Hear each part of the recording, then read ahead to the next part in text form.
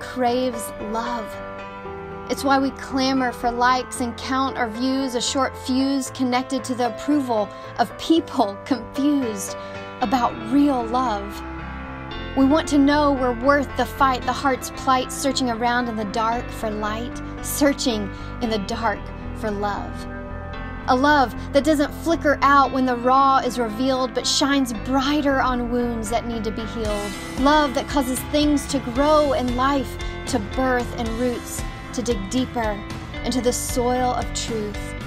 Roots tangling together, drinking living water, restoring life to the daughter who thirsts.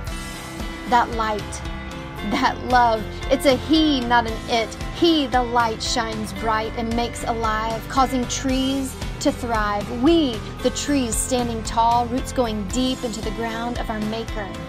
We, the trees planted by streams with green leaves, because our roots dig deep into His love. His love. Real love, a love that's bigger than sentiment or compliment or endearment, a love displayed in atonement, the embodiment of God making amends for His enemies on a cross. A love that beckons us near and crushes our fears and wipes away the tears of regret and repentance. A love that whispers, Come close, my child. In me is life. Love came down through the light, shining bright, so that withered trees would be made alive, roots revived his love.